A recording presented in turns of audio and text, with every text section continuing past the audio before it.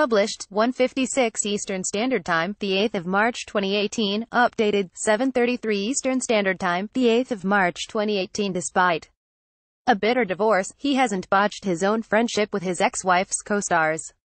Kyle Richards, Faye Resnick and Kris Jenner all came out in support of Dr. Paul Nassif's new medical spa in Beverly Hills on Thursday night.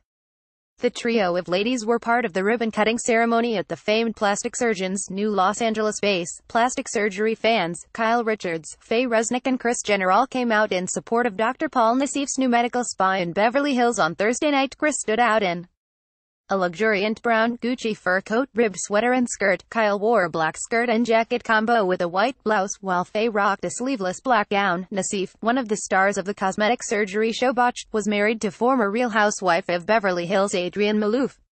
The pair went through a very public split in 2012. Momager, Kris stood out in a luxuriant brown Gucci fur coat, ribbed sweater and skirt connection. Nassif, one of the stars of the cosmetic surgery show Botched was married to former Real Housewife of Beverly Hills Adrienne Maloof. Adrienne was part of the main cast for the first three seasons, before moving back to on-and-off guest star in the subsequent five.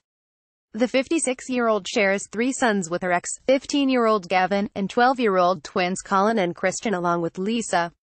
Vanderpump, Kyle is the only other housewife to remain in the main cast for all eight seasons. Resnick meanwhile, a close friend of Jenner's has been a guest and friend of the Housewives on and off for five seasons. On the E! botched, Nassif and his partner Dr. Terry Dubrow remedy extreme plastic surgeries gone wrong, happier times, the pair, who share three sons, went through a very public split in 2012 pictured Feb of that year.